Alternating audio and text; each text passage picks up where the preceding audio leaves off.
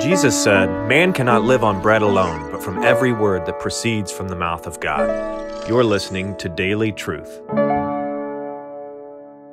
The question that I would ask is this that when Christ finally returns, at his physical final return, in the new heavens and the new earth, does anyone die?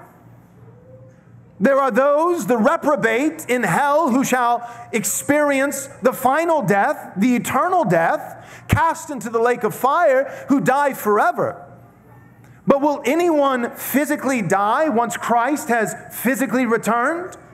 Once the new heavens and the new earth are fully established in the age to come, do people still die? And the answer from Scripture is an emphatic no, a resounding no. So Isaiah chapter 65 cannot be speaking of what life will be like after Christ returns. It says, No longer will a child die in infancy. That would include abortion, infancy in the womb. And yet it also says that the youth shall die at a hundred, which means what? You're living in a time in real human history before the final physical return of Christ where people still die, albeit later. And that's meant to be one example and testimony of the progression of Christ's kingdom. That now, instead of people saying he died at 50, he was so young, that people should say he died at 100, he was just a youth.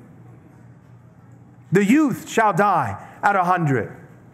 And you might say, that'll never happen. Things have only gotten worse for 2,000 years. Brothers and sisters, let's just, at this point, it's not even theological, it's simply just logical. It was not that long ago that if someone lived to be 50 years old, we said he's ancient.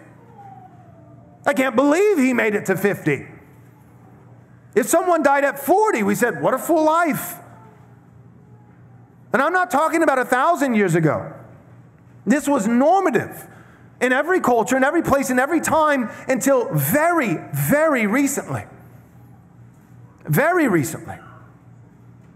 And so we can already say that there is a sense in which death is being pushed back. Even now, it is the last of Christ's enemies to be truly and fully defeated. But even now, through the advance of the gospel, there are real, tangible earthly implications. And you might say, well, what do lifespans, human lifespans, have to do with the gospel? Everything. It is because of the Christian worldview and the gospel of Jesus Christ that medicine has advanced. Are there corruptions? Yes. Satan always seeks to take that which is good and twist it and pervert it. Is all medicine moral? No. I would never make such a naive and foolish claim.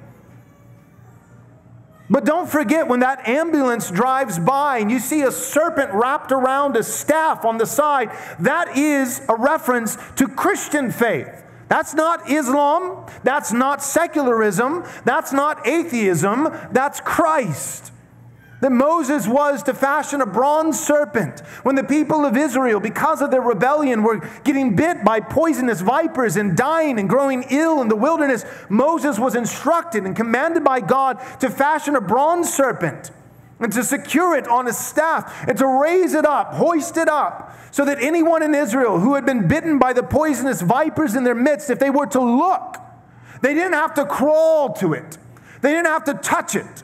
They didn't have to kiss it, they only had to see it, to look.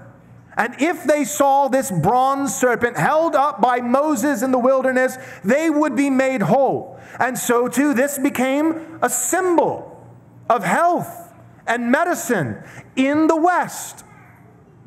Christian roots. Christian roots.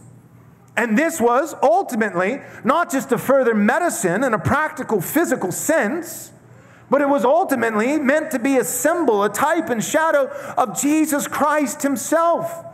That one eventually would be held up on a wooden staff, a tree, and that all who would look to him, not work for him, not crawl to him, not run to him, not touch him, but if they only would look with the eyes of faith and see him, that they would be healed of all their infirmities, not mere infirmities of this life in the physical sense, but that they would be healed of that wretched eternal infirmity of sin. And that they would be spared the wrath of God if they would see Him. Jesus says this even of Himself that I will be lifted up and draw many to myself. And so the implications of the gospel have gone forth in the spiritual, eternal, salvific sense. Yes and amen. But always with the advancement of that which is spiritual, if it is in fact true, there are tangible implications in that which is physical.